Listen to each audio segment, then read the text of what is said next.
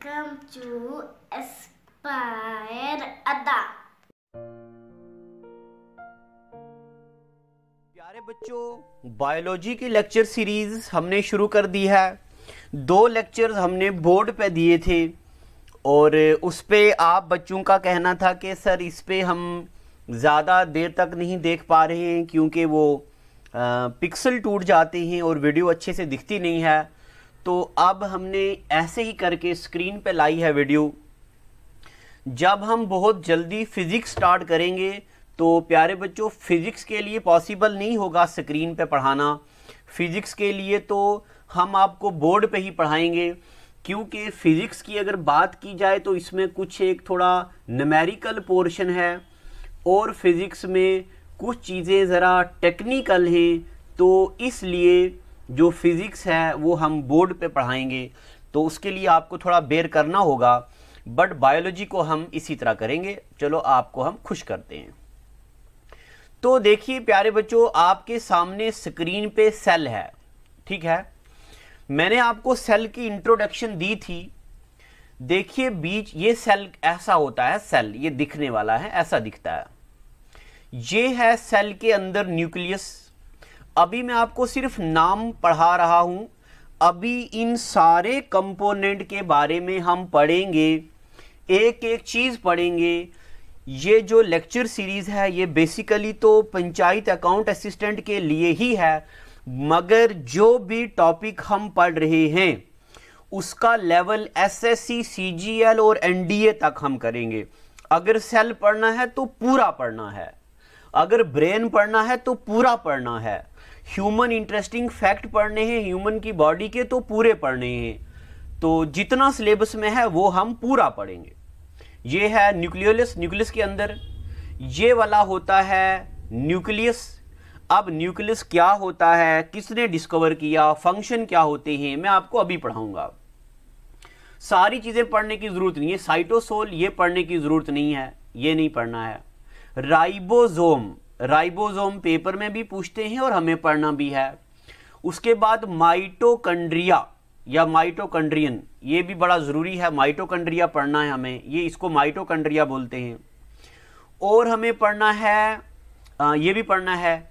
ये आपको शायद पढ़ने तो नहीं हो रहा होगा। इसको बोलते एंडोप्लाज्मिक रेक्टिकुलम। अब ये एंडोप्लाज्मिक रेक्टिकुलम क्या होते हैं हम अभी थोड़ी देर में पढ़ने वाले हैं। यहाँ तक ठीक है? अब मैं ये उम्मीद कर रहा हूँ कि आप बच्चों को न्यूक्लियस पता चला क्या होता। राइबोसोम, सिर्फ़ नाम सुना है, बस, मैं ज़ीरो से ही शुरू कर रहा हूँ। राइबोसोम माइटोकंड्रिया और और क्या होता है, ये ये सारी, ये उसके बाद एंडोप्लाज्मिक रेक्टिकुलम, ये वाली चीज़ें। तो अब हम एक एक करके इन चीज़ों के बारे में पढ़ेंगे। आप आराम से तसल्ली से इन चीज़ों को सुनिए। मैथ का कोर्स भी आप बच्चों की बहुत डिमांड थी। मंडे को मैथ का कोर्स जो है हमने स्टार्ट कर दिया है। अच्छा ये भी देख लो थोड़ा सा ये इसको बोलते हैं गोल्जी बॉडीज। इसको बोलते हैं गोल्जी बॉडीज, ये वाला। इसके क्या फ़ंक्शन होते, क्या रोल होता है ये भी पढ़ेंगे। इसको बोलते हैं लाइजोजोम ये क्या होता है? प्लाज्मा मेम्ब्रेन ये क्या होता है? मैं आपको एक बात सजेस्ट करूँगा। सबसे पहले आप वीडियो यहीं पे रोकिए। स्क्रीन पे जो सेल बना है, इसको पेज के ऊपर बनाइए और फिर हम एक एक चीज़ के बारे में पढ़ेंगे। जैसे माइटोकंड्रिया के बारे में पढ़ेंगे तो हेडिंग डालेंगे आप माइटोकंड्रिया गोल्जी बॉडीज के बारे में पढ़ेंगे तो हेडिंग डालेंगे गोल्जी बॉडी। एंडोप्लाज्मिक रेक्टिकुलम के बारे में पढ़ेंगे तो आप हेडिंग डालेंगे एंडोप्लाज्मिक रेक्टिकुलम। एक एक करके हम पूरा पढ़ने वाले हैं। अब मुझे ये, मैं ये मान के चल रहा हूँ कि आपने अपनी नोटबुक पे अपने प्यारे प्यारे हाथों से मेरे प्यारे नन्हे मुन्ने बच्चों, बना दिया है ये सेल, अब हम पढ़ने के लिए आगे चलते हैं। ठीक है? इतमान से, तसल्ली से, प्यार से पढ़ेंगे। कोई भी डाउट आता है तो हमारी पूरी टीम आपके साथ है। हम आपके लिए हमेशा हैं। नंबर भी स्क्रीन पे दिया है। कभी भी कॉल कर सकते हैं। आप रात के 12 बजे कॉल करेंगे, तब भी मैं हाजिर हूँ आपके लिए। मेरा पैशन यही है। तो देखिए, अब आप हेडिंग डालिए सबसे पहले न्यूक्लियस पहले दो पार्ट तो मैंने आपको पढ़ाए ना वहाँ बोर्ड पे लाइव ये तीसरा पार्ट है बायोलॉजी का। अब हेडिंग डालना है आपको न्यूक्लियस ठीक है? न्यूक्लियस हेडिंग डाल दिया। अब आप पहले आराम से मेरी बातें सुनिए उसके बाद स्क्रीन पे लिखी हुई बातों पे हम गौर करेंगे। देखो, यहाँ पे मैंने बोर्ड पे ऐसे करके सेल बनाया था आपको, बना के दिखाया था, है ना? मैं आज फिर रफ सा बनाता हूँ, ताकि आपको मैं अच्छे से समझा पाऊँ। ये को सेल की वॉल होती है। सेल के अंदर इसको बोलते हैं न्यूक्लियस। ठीक है? ये जो मैंने बनाया है, ये क्या है? न्यूक्लियस अब न्यूक्लियस के बारे में आपको क्या क्या बातें याद रखनी हैं। तो हेडिंग डालो न्यूक्लियस और पहला पॉइंट जैसे मैं लिख रहा हूँ, ऐसे ही आपको नोट्स बनाने हैं। पहला point nucleus was discovered by Robert Brown पहला पॉइंट हो गया। न्यूक्लियस को किसने डिस्कवर किया था? तो nucleus was discovered by Robert Brown ठीक है? रॉबर्ट ब्राउन ने न्यूक्लियस को डिस्कवर किया। ठीक है? हो गया एक पॉइंट दूसरा point this is largest component of cell exam में पूछेगा examiner which of the following is largest component of cell तो न्यूक्लियस क्या होता है?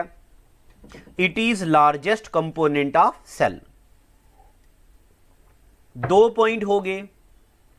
ठीक है? तीसरा point this is also known as brain and manager of cell जिस जिस पॉइंट को मैं हाईलाइट कर रहा हूँ या डब्बे में रख रहा हूँ तो प्यारे बच्चों, वो पॉइंट ज़्यादा ज़रूरी है। This is known as brain and manager of cell तो which of the following component is known as brain and manager of cell nucleus which is largest component of cell तो वो भी क्या है? Nucleus nucleus was discovered by Robert Brown कितनी बातें हो गई? और उसके बाद आपको याद रखना this is absent in RBC RBC के अंदर न्यूक्लियस एबसेंट होता है। अब आरबीसी मैं आपको बाद में पढ़ाऊँगा। जब मैं आपको पढ़ाऊँगा ब्लड क्या होता है ब्लड के अंदर हम पढ़ेंगे आरबीसी ब्लड के अंदर पढ़ेंगे डब्ल्यूबीसी और पढ़ेंगे प्लेटलेट्स ये सारी चीज़ें हम ब्लड में पढ़ेंगे। अभी आप सिर्फ़ इतना याद रखो आरबीसी होता है red blood cell cell RBC के अंदर न्यूक्लियस नहीं होता। जब मैंने आपको सेल की इंट्रोडक्शन पढ़ाई पढ़ाई थी, तब मैंने आपको यह भी बताया था the smallest cell of human body is RBC RBC जो होता है वो सबसे छोटा सेल होता है। यहाँ तक ठीक है। अब प्यारे बच्चों, मैं आपके लिए बहुत बेहतरीन इंफॉर्मेशन लाया हूँ। कुछ और बताने जा रहा हूँ। पहले यह भी सुनो। न्यूक्लियस के अंदर दो एसिड्स होते हैं। क्या होते हैं? एसिड न्यूक्लियस के अंदर होते हैं। इसलिए इसको न्यूक्लिक एसिड बोलते हैं। तो उस एसिड को बोलते डीएनए और दूसरे को बोलते आरएनए। डीएनए का मतलब होता है deoxy ribo nucleic acid RNA का मतलब होता है राइबोज न्यूक्लिक एसिड अब हम इनके बारे में अभी पढ़ेंगे, थोड़ी देर में ये क्या होता है। एक बार ऊपर वाला जरा रिवाइज कर लेते न्यूक्लियस जो है, रॉबर्ट ब्राउन ने डिस्कवर किया है। लार्जेस्ट कंपोनेंट है। अबसेंट होता है आरबीसी में। Nucleus is known as brain and manager of cell. और न्यूक्लियस के बारे में ब्रेन एंड मैनेजर बोलते हैं इसको, और जो न्यूक्लियस है इसके अंदर दो होते हैं, एसिड जिनको बोलते हैं, डीएनए और आरएनए। यहाँ तक ठीक है? अब हम पढ़ने जा रहे हैं, डीएनए क्या होता है, आरएनए क्या होता है। इसमें हायर लेवल के पेपरों में सवाल आते हैं तो प्यारे बच्चों, अगर सेल पढ़ रहे हैं तो ये सारा हमें पढ़ना है। देखो, आपकी स्क्रीन पे लिखा है डीएनए और आपकी स्क्रीन पर लिखा है आरएनए अब मुझे पता है आप में से बहुत सारे बच्चे ऐसे हैं जिन्होंने पहले कभी बायोलॉजी नहीं पढ़ी है। इसलिए जो स्क्रीन पे लिखा है, आप इसको भूल जाओ। जो मैं बोल रहा हूँ, उसको सुनो। देखो, प्यारे बच्चों, इस्लाम की तारीख में हज़रत उज़ैर सलाम हैं, एक पैगंबर हैं, मैसेंजर हैं खुदा के। उन्होंने खुदा को कहा कि, या खुदा, जब इंसान मर जाएगा, उसकी हड्डियाँ खत्म हो जाएँगी, वो कैसे ज़िंदा होगा? आप उसको कैसे ज़िंदा करोगे? तो कहते हैं कि खुदा ने उजैर इस्लाम को मौत दी कुछ दिन के लिए। 100 साल बाद के ज़िंदा किया 100 साल के बाद। और उजैर इस्लाम को पूछा, बताओ, कितनी दिन के बाद खड़े हुए उन्होंने बोला एक दिन के बाद ऐसा लगता है कि अभी सो के उठाऊं। तो खुदा ने कहा, जरा बाहर देखो। सौ साल के बाद पूरी दुनिया बदल जाती है, सब कुछ बदल गया है। तो जब उनको पता चला कि वो सौ साल के बाद ज़िंदा हुए हैं तो खुदा ने कहा उजैर इस्लाम से, उजैर, मुझे अपनी खुदाई की कसम, मैं इंसानों की उंगलियों के निशान हिलने नहीं दूँगा अपनी जगह से। मैं आपकी ज़ुबान के, यानी के टंग के निशान हिलने नहीं दूँगा। पूरी दुनिया में जितनी भी ज़िंदा चीज़ें हैं, हर एक ज़िंदा चीज़ के उंगलियों के निशान दूसरे से नहीं मिलते हैं। मैं वो खुदा हूँ जिसने पहले पैदा किया और बाद में ज़िंदा करूँगा। जरा देखो, कितने करोड़ इंसान हैं, कितने लाखों अरबों इंसान हैं क्या किसी एक इंसान की उंगली का निशान दूसरे से मिलता है? नहीं। क्या किसी आँख, किसी एक इंसान का आँख का रेटिना दूसरे इंसान के रेटिना से मिलता है? नहीं। तो मैं हूँ वो जिसने दुनिया बनाई और मैं ही दोबारा उठाऊँगा। ये है खुदा की, भगवान की, जो जिस जिस नाम से आप क्रिएटर को बुलाते हैं, ये उसकी क्वालिटी है। ठीक है? तो वो कहता है ना फबी अयी आलाई रब्बी को मातुका जीबान and which of our blessing you will deny अब मैं आपको बता रहा हूँ डीएनए क्या होता आरएनए क्या होता। ठीक है? किताब में जो ये मैंने यहाँ लिखा है, इसको मैं सीक्वेंस से पढ़ाऊँगा। आप पहले सुनो। डीएनए क्या होता है? Deoxy ribo nucleic acid parent के कैरेक्टर बच्चों में आते हैं।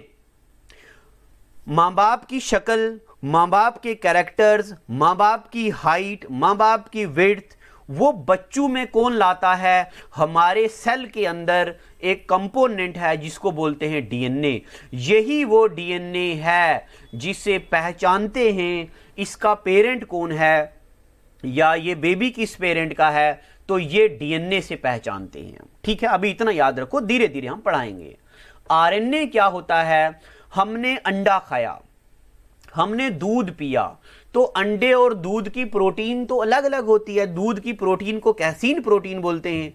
मगर हमारी बॉडी को जो प्रोटीन चाहिए, वो अलग फॉर्म में चाहिए, अलग फॉर्मेट में चाहिए, वो वाली प्रोटीन आरएनए बनाता है। ठीक है? अभी मैंने आपको सिर्फ़ ये बोला, डीएनए पेरेंट के कैरेक्टर बच्चों तक लाता है। ठीक है? हम नहीं बोलते इसका डीएनए टेस्ट करना पड़ेगा। ठीक है, वो डीएनए आरएनए प्रोटीन बनाता है। होते क्या है? डीएनए आरएनए सेल के अंदर होते सेल में कहा? न्यूक्लियस के अंदर। अब इनके बारे में पढ़ते हैं। तो जब आप डीएनए और आरएनए लिख रहे हैं तो जैसे मैंने नोट्स पे लिखा, आपको ऐसे नहीं लिखना है, आपको अलग तरीके से लिखना है। मैं जैसे हाईलाइट कर रहा हूँ, ऐसे। पॉइंट नंबर वन ये वाला है। ठीक है, ये वाला।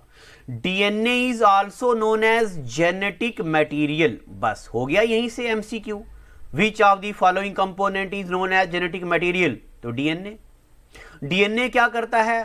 Transfers in next generation parent के कैरेक्टर बच्चों तक लाता है। ठीक है? इतना पता चल गया। यहाँ मैंने शार्ट में लिखा है क्रोमोजोम कंटेंट डीएनए क्रोमोजोम के अंदर होता है। अभी मैं बताऊँगा क्या होता है। अभी आप सिर्फ़ इतना पॉइंट लिखो। डीएनए जेनेटिक करेक्ट मटेरियल होता है। पेरेंट के कैरेक्टर बच्चों तक लाता है, बस, ठीक है? अब आते आरएनए पे तो आरएनए का पहला point it helps in protein making ठीक है? क्या बनाता है ये? प्रोटीन बस, हो गया, पहला पॉइंट अब हम आते हैं फर्दर चीज़ें सीखते हैं। डीएनए की फुल फॉर्म होती है deoxy ribose nucleic acid DNA deoxy ribo nucleic acid. RNA की फुल फॉर्म होती है राइबोज न्यूक्लिक एसिड। राइबोज का मतलब होता है प्रोटीन बनाना, प्रोटीन मेकिंग। तभी इसको राइबोज न्यूक्लिक एसिड, यानी कि प्रोटीन मेकिंग है न्यूक्लियस के अंदर। ठीक है? उसके बाद, ये जो डीएनए है, इसको जब देखा गया, इसका स्ट्रक्चर ऐसे है। अभी मैंने अगले पेज पर स्ट्रक्चर बनाया हुआ है, मैं आपको बताऊँगा। ऐसे स्ट्रक्चर होता है। इसको बोलते हैं double helix structure DNA structure किसने बनाया? किसने देखा पहली बार? सॉरी देखा किसने? वाटसन एंड क्रिक ने. तो पेपर में आता डीएनए स्ट्रक्चर को किसने दिया था? किसने देखा था? तो Watson and Crick RNA structure ऐसा होता है, इसको सिंगल हेलिक्स बोलते हैं. RNA structure was given by Frederick Miescher हो गए दो पॉइंट अगला। ये पॉइंट सबसे ज़्यादा ज़रूरी है। डीएनए होता कहाँ पे है? DNA is found in nucleus कहाँ होता है? न्यूक्लियस में। RNA is found in nucleus दोनों कहाँ होते हैं? न्यूक्लियस में। अब कुछ चेंजेस भी हैं। डीएनए न्यूक्लियस के अलावा माइटोकंड्रिया में होता है। अब माइटोकंड्रिया क्या होता है? प्यारे बच्चों, थोड़ा सा वक्त चाहिए। मैं हर चीज़ को इसी वक्त क्लियर नहीं कर पाऊँगा। अगर मैं आपको अभी बताऊँगा माइटोकंड्रिया क्या होता है, पावर हाउस ऑफ़ सेल बोलते हैं इसको, फिर मैं माइटोकंड्रिया में घूम जाऊँगा तो ये वाला मकसद डीएनए का रह जाएगा। इसलिए मेरा वादा है, मैं फिर से बोल रहा हूँ, मेरे कंप्यूटर की स्क्रीन पे कुछ भी वर्ड ऐसा नहीं लिखा जाएगा जो मैं आपको समझा ना पाऊँ। बस, इस बात को अपने पास रखो और दिल पे हाथ रखो, दिल को बोलो, मास्टर समझाएगा मास्टर बेहतरीन अंदाज में समझाएगा, बस वक्त आने दो।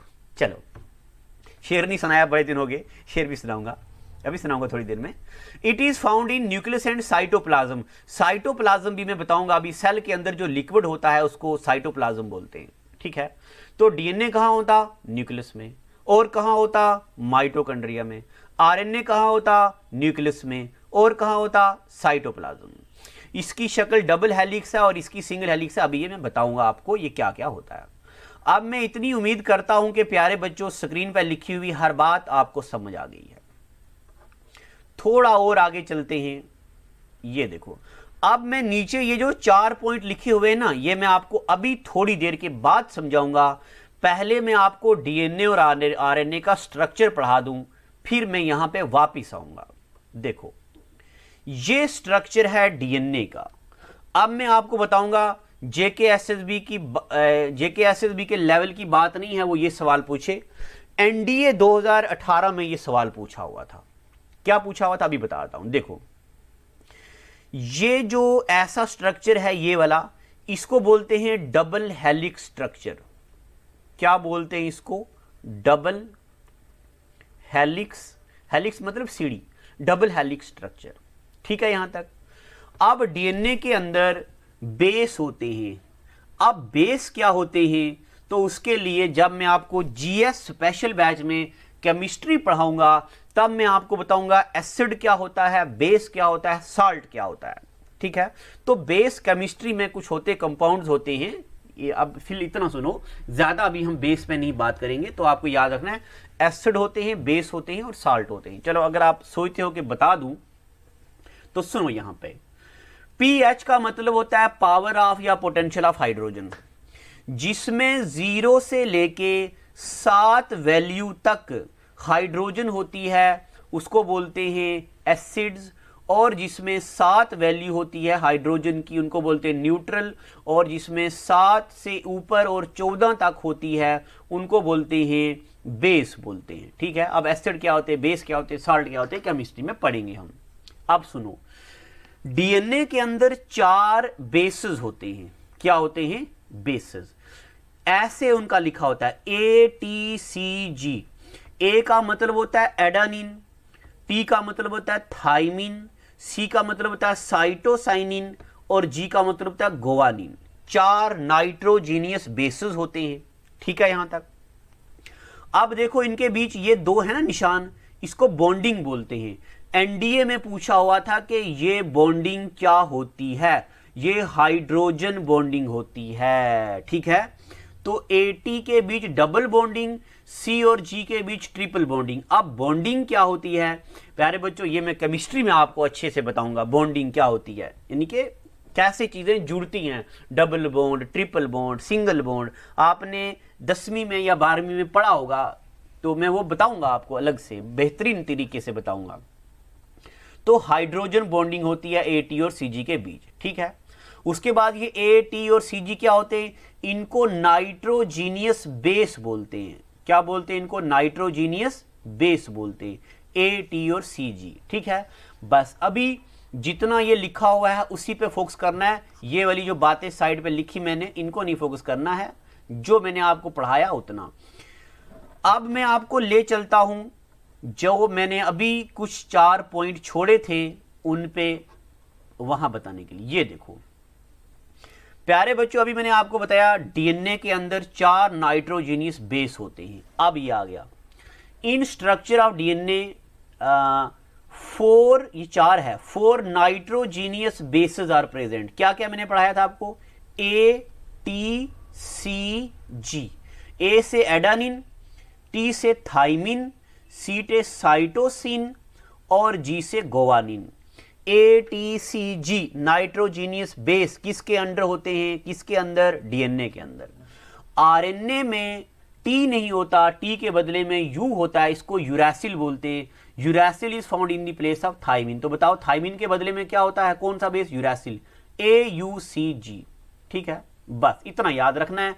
और ये जो मैंने बातें आगे लिखी हैं, ये भी पढ़नी है, मगर ये अकाउंट असिस्टेंट के सिलेबस के लिए ये ज़रूरी नहीं है तो हद से ज़्यादा भी चीज़ें नहीं पढ़नी हैं। उससे डीमोरलाइजेशन होती है एक्स्ट्रा चीज़ें पढ़ना भी ठीक नहीं है। हाँ अगर आप एनडीए का रेलवे का एसएससी सीजीएल का एग्ज़ाम दे रहे हैं तो उसके लिए तो जो जीएस का बैच है, उसमें मैं कोई कसर नहीं छोड़ने वाला हूँ। क्या पॉलिटी हो, क्या इकोनॉमी हो, क्या ज्योग्राफी हो, क्या हिस्ट्री हो, क्या स्टैटिक जीके हो और क्या कंप्यूटर हो, उसमें अलग अंदाज से पढ़ेंगे हम। तो अभी मैंने आपको डीएनए और आरएनए बता दिया है, बस किसने डिस्कवर किया स्ट्रक्चर क्या होता है डीएनए का स्ट्रक्चर मैंने आपको बता दिया। आरएनए का स्ट्रक्चर भी बता देता हूँ, ये आरएनए का स्ट्रक्चर है नीचे, ये ए यू सी जी ठीक है? चलो। अब मैंने अभी आपको न्यूक्लियस बताया, न्यूक्लियस के अंदर डीएनए, आरएनए बता दिया। अब चलते हैं आगे, और ज्ञान की बातें करते हैं। अगर आपने अभी जो मैंने इमेज बनाई थी पहले नंबर पे, अगर आपने वो बनाई है तो इमेज पे देखो, आपको मैंने बढ़ाया है, दिखाया है क्रोमोजोम्स ठीक है? क्रोमोजोम क्या होते हैं? अब पहले सुनो क्रोमोजोम क्या होते हैं। जो बोर्ड स्क्रीन पे लिखा है ना, इससे पहले आप मेरी बातों को गौर कीजिए, फिर मैं यहाँ पे चलूँगा। ये जो मैंने लिखा है, यहाँ पे मैं बाद में आऊँगा। ये भी एक पढ़ाने का तरीका होता है। अगर मैं डायरेक्ट यहाँ पे आ जाऊँ, ये मैंने क्या लिखा है तो मैं अच्छे से नहीं बता पाऊँगा। इसलिए मैंने इसको डब्बे में बंद कर दिया है। आप यहाँ पे देखिए जो मेरी स्क्रीन है। देखो, जितनी भी लिविंग चीज़ें हैं ना, ज़िंदा चीज़ें उसके अंदर ऐसे पेयर्स बने होते हैं।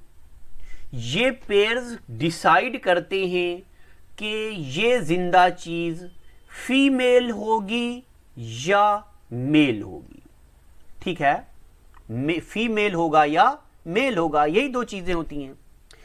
तो हमारी बॉडी के अंदर, वो वाले सेल के अंदर, वो वाले कंपोनेंट जो ये डिसाइड करते हैं ये फीमेल है या मेल है, ऐसे कंपोनेंट को हम बायोलॉजी में बोलते हैं क्रोमोजोम शायद आपको ये दिख नहीं रहा होगा तो ये मैंने लिखा है C H R O M O S O M E chromosome ठीक है?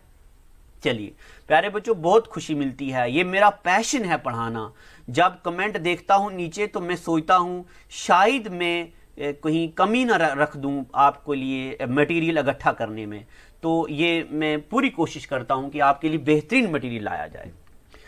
आप देखो क्रोमोजोम मैंने आपको बता दिया क्या होता है। अब आते हैं जो लिखा हुआ है। क्रोमोजोम को डिस्कवर्ड किया था पुरकेंजे ने। ये आपको याद रखना है, क्योंकि आपकी बायोलॉजी में है ना इन्वेंशन एंड डिस्कवरीज और फिजिक्स में भी हैं, वो भी पढ़ाऊँगा मैं। तो यहाँ से भी ये डिस्कवरी है। Chromosome were discovered by Purkinje पहला पॉइंट ज़रूरी है। दूसरा पॉइंट क्रोमोजोम कहाँ होते हैं? They are attached on DNA DNA के अंदर होते हैं क्रोमोजोम ठीक है?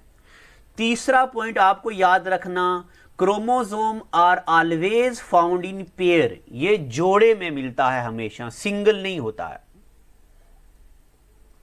उसके बाद it becomes visible during cell division जब सेल की डिवीज़न होती है, तब ये बनते हैं। अब सेल डिवीज़न जब मैंने आपको सेल थ्योरी पढ़ाई थी शेल्डॉन और स्वेन की, तब मैंने आपको बताया था कि all new cells are formed by pre existing cell by the process of cell division यानी कि ये सेल है, ये डिवाइड होता है और अलग अलग डॉटर सेल बनते हैं, ये भी ये भी हम पढ़ेंगे।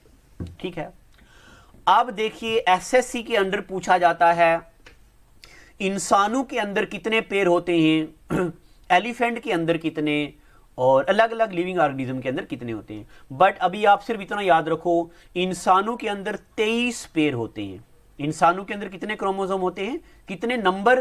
तो 46 कितने पेड़ होते हैं? तो 23 इतनी बातें पता चल गई। चलिए। प्यारे बच्चों, अभी मैंने आपको सिर्फ़ बताया है कि क्रोमोजोम क्या होता है। अब क्रोमोजोम के बारे में थोड़ी एडवांस लेवल की स्टडी भी करेंगे। ठीक है? देखिए आपकी स्क्रीन पे। आराम से, तसल्ली से रिलैक्स होकर चीज़ों को सुनिए। क्योंकि ऐसे जो मैं ऐसे पढ़ा रहा हूँ, ऐसे पढ़ाना इतना एफिशिएंट नहीं माना जाता क्योंकि आप मेरे सामने नहीं हो। अब मुझे कैसे पता चलेगा कि आपको समझ आया है या नहीं आया है?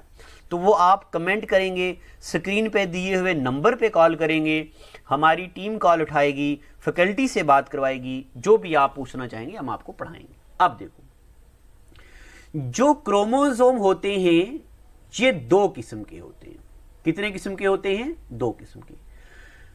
एक किस्म को बोलते हैं ऑटोजोम और एक होता है allosome A L O S O M E ई है। ऑटोजोम और एलोजोम जो एलोजोम क्रोमोजोम है, इनका दूसरा नाम है सेक्स डिटर्मिनेंट क्रोमोजोम क्या बोलते हैं इनको?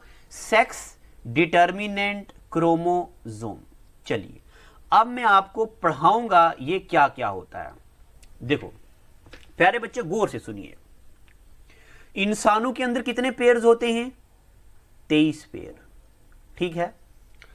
जब जाइगोट बनता है, मैंने आपको बताया था स्पर्म और एग फ्यूजन होती है जाइगोट बनता है तो फिर उसके बाद क्या होता है?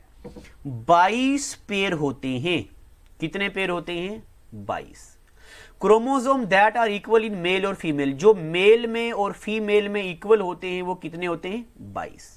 ठीक है? अब अब ये बाईस पेयर हैं तो अभी जो बेबी है, ना वो मेल है और ना वो फीमेल है। यहाँ तक पता चल गई आपको बात? अब एक क्रोमोजोम एक पेयर ऐसा है, जिसको हम बोलते हैं अल्लोजोम या इसको सेक्स डिटर्मिनेट इसको सेक्स डिटर्मिनेट क्यों बोलते हैं? ये देखो। देखो मैं यहाँ पे स्क्रीन को साफ़ करके आपको एक बेहतरीन इंफॉर्मेशन देने वाला हूँ।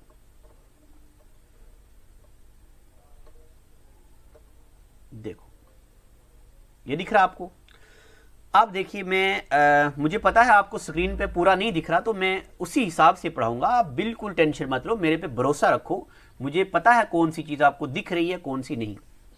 ये जो ऑटोजोम है, ये कितने हैं? बाईस पेड़ ये जो है, ये कितना है? एक पेड़ देखो, जब ये बाईस पेड़ आएँगे तो बेबी ना मेल है, ना फीमेल है। ठीक है?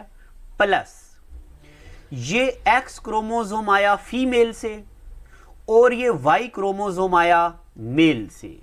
इसका मतलब अब ये जो बेबी हुआ है, बाईस पेड़ ये और एक पेड़ ये अब ये जो बेबी हुआ है, ये बेबी क्या हुआ है? ये हुआ है मेल ये बेबी क्या हुआ है?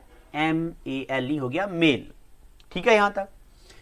अब, अगर 22 क्रोमोजोम है, वही कॉमन अलो ऑटोजोम वाले प्लस एक आ गया एक्स फीमेल से, दूसरा क्रोमोजोम आ गया एक्स फीमेल से. अब ये जो बेबी हुआ है, ये हुआ है फीमेल पहले केस में बेबी क्या हुआ था? मेल क्योंकि जो वाई क्रोमोजोम है, ये देखो ये जो वाई क्रोमोजोम है, ये मेल के अंदर होता है और फीमेल के अंदर क्या होता है? एक्स अगर वाई आएगा तो बेबी क्या होगा? मेल अगर एक्स आएगा तो बेबी क्या होगा? फीमेल इतनी बातें पता चल गई। अब मैं आपको कुछ और भी बताने जा रहा हूँ। स्क्रीन को मैं ऊपर करता हूँ ताकि आपको दिखे। ये देखो। दिख रहा है? देखो, आराम से, गौर से।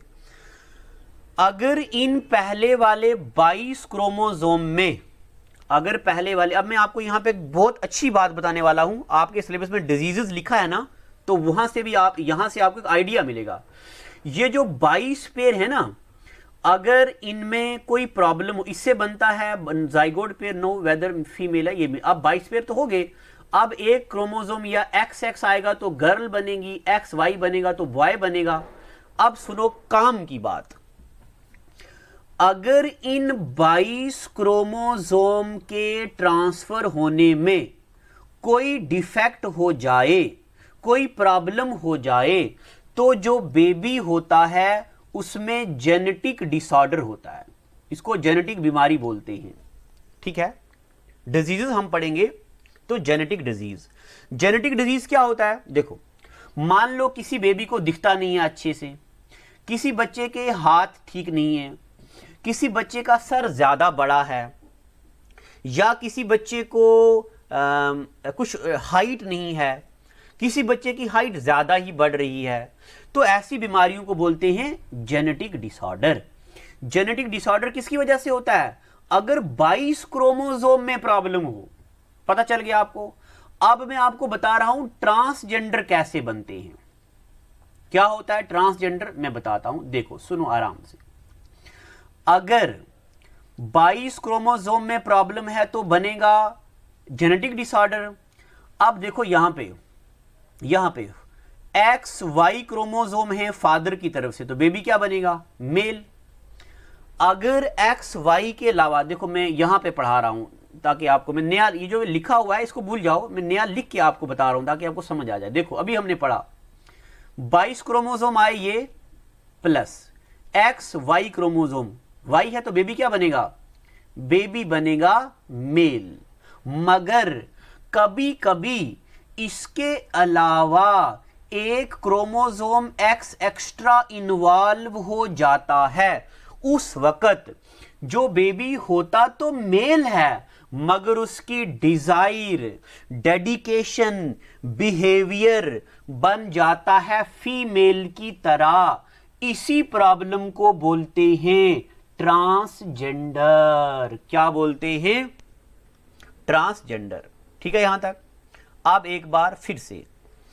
अगर एक्स और एक्स क्रोमोजोम आगे कॉमन ठीक है? यानी कि 22 क्रोमोजोम आगे बराबर प्लस एक्स एक्स आ गया। तो इसका मतलब बेबी क्या है?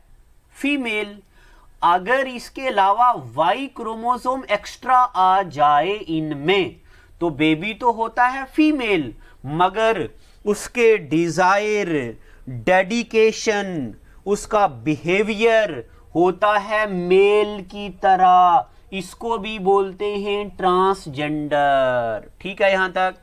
ये बातें मैंने आपको लिख के समझा दी। क्रोमोजोम क्या होता है? ऑटोजोम क्या होता है? एलोजोम क्या होता है?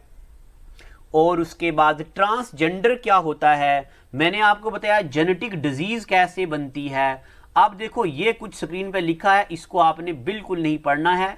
हम, मैं आपको अलग अलग चीज़ें अलग अलग टाइम में सिखा दूँगा सारी। आपको बिल्कुल टेंशन नहीं लेनी। अब मुझे उम्मीद है कि आपको सेल के बारे में इतनी जानकारी होगी। अब ये वाला पॉइंट भी थोड़ा सा याद रख दो, ये वाला ये मगर एसएससी नहीं, ये sorry very sorry account assistant नहीं पूछेगा। अगर आप एसएससी की तैयारी कर रहे हैं तो उसके लिए आपको ये दो चार चीज़ें याद रखनी है। मच्छर के अंदर कितने क्रोमोसोम होते हैं? कितने पेयर छह जोड़े। चिंपैंजी के अंदर कितने पेयर होते हैं? चौबीस पेयर पटाटो या तबाको के अंदर कितने होते हैं? अठारह पेयर टमाटो के अंदर 12 पेयर और ड्रोसोफिला एक एनिमल होता है, इसके अंदर चार पेयर कैट के अंदर 19 पेयर वीट के अंदर 21 पेयर पीज, मटर के अंदर सात पेयर ठीक है? ये पूरी दुनिया के नहीं याद रख रहे हैं, सिर्फ़ एसएससी ने जो ज़्यादा पूछा, मैं वही याद करवा रहा हूँ। एलिफेंट याद रख दो, एलिफेंट के अंदर होते हैं अट्ठाईस पेयर ठीक है? आज के एपिसोड में हम इतना रखेंगे, अगले एपिसोड में मैं आपको पढ़ाऊँगा बाकी सेल की ऑर्गेनलीज। ठीक है? अब मैं यहाँ पे ये भी बता रहा हूँ आपको कि हमें क्या क्या पढ़ना है। देखो, आपके सिलेबस में लिखा है ना interesting human fact interesting fact of human body है ना? तो अब हमें ह्यूमन बॉडी पढ़नी है ना तो प्यारे बच्चों, इतना लंबा सिलेबस है कि जिसका कोई अंदाज़ा नहीं। तो बॉडी में हमें सबसे पहले तो सेल पढ़ना है। सेल के बाद हमें न्यूट्रिशन पढ़ना है। चलो न्यूट्रिशन तो अच्छे से लिखा है nutrition in plant and animal वो पूरा पढ़ेंगे। न्यूट्रिशन क्या होता है? कितने मोड ऑफ़ न्यूट्रिशन होते हैं? वो तो सारा पढ़ना है क्योंकि ये सिलेबस में लिखा है। अब ह्यूमन बॉडी के बारे में लिखा है तो हमें ब्रेन भी पढ़ना है। ब्रेन के बारे में सवाल आ सकता है। हमें ब्लड पढ़ना है। ब्लड के बारे में सवाल आ सकता है। हमें स्केल्टन सिस्टम पढ़ना है। इसमें भी पूछते हैं, कौन सी हड्डी का क्या नाम है? बड़ी हड्डी, छोटी हड्डी, मज़बूत हड्डी शाइनिंग बून और लंबी हड्डी कौन सी हड्डी को क्या बोलते हैं? जूट के क्लस्टर यूनिवर्सिटी के पेपर में आया हुआ था, उल्ना बून किससे रिलेटेड है? ये पढ़नी हमें चीज़ें। और उसके बाद हाँ हम दिल को कैसे भूल सकते हैं? ह्यूमन हार्ट पढ़ना है, और और क्या होता है? रुको, मुझे याद करने दो। हाँ हाँ सबसे खास डिज़ीज़ डिज़ीज़ तो हमारे सिलेबस में मेंशन है। तो डिजीजेज में मैं बहुत टाइम लगाने वाला हूँ। इतनी डिजीजेज पढ़ेंगे, इतनी डिजीजेज पढ़ेंगे कि आपको मज़ा आ जाएगा डिज़ीज़ पढ़ने की उसके बाद फिर बायोलॉजी में कुछ जो इन्वेंशन और कुछ डिस्कवरीज हैं, वो पढ़नी है। ऐसे करके हम बायोलॉजी का सिलेबस खत्म करेंगे। ठीक है? उसके बाद रहेगी फिजिक्स तो फिजिक्स तो मैं आपको ज़ीरो टू हीरो बना दूँगा। अगर आपने ज़िंदगी में कभी फिजिक्स नहीं पढ़ी है तो आपको मैं मज़ा ला दूँगा फिजिक्स में, क्योंकि फिजिक्स ही ऐसा सब्जेक्ट है जो पढ़ाने में मुझे बहुत मज़ा आता है।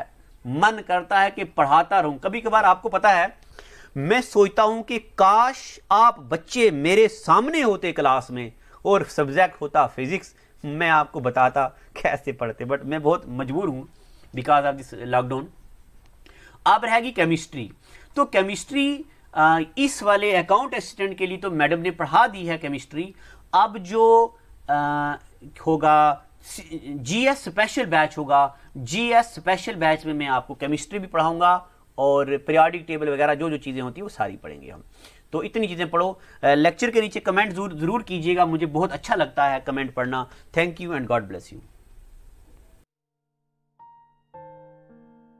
Well, it is hard time for all of us. Due to coronavirus, we have break the situation as earlier it was.